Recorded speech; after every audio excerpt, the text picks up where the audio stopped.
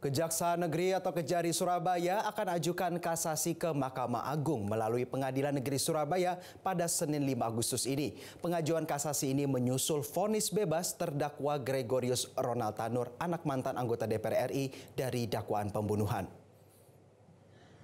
Kepala Kejari Surabaya Joko Budi Darmawan menyebut akan mengajukan kasasi atas vonis bebas terdakwa Gregorius Ronald Tanur dari dakwaan pembunuhan pada hari ke-12 atau tanggal 5 Agustus.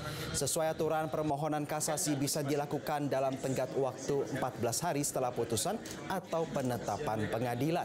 Pengajuan kasasi pada 12 hari setelah putusan ke Mahkamah Agung melalui Pengadilan Negeri Surabaya ini merupakan bagian dari strategi Kejari Surabaya Surabaya untuk dapat membuat memori kasasi yang maksimal.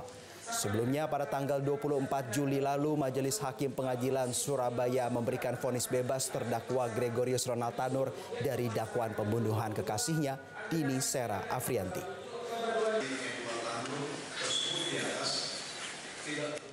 jelas kami akan susun, kami akan kritisi yang di sana dan tuangkan dalam uh, memori kami. Di sana pertimbangan apa, hakim nanti dalam pertimbangan di sana itu uh, untuk hemat kami itu pertimbangan sudah sesuai atau tidak. Jadi kami akan kantor melalui memori dan kami akan ajukan ke Jelajahi cara baru mendapatkan informasi. Download Metro TV Extend sekarang.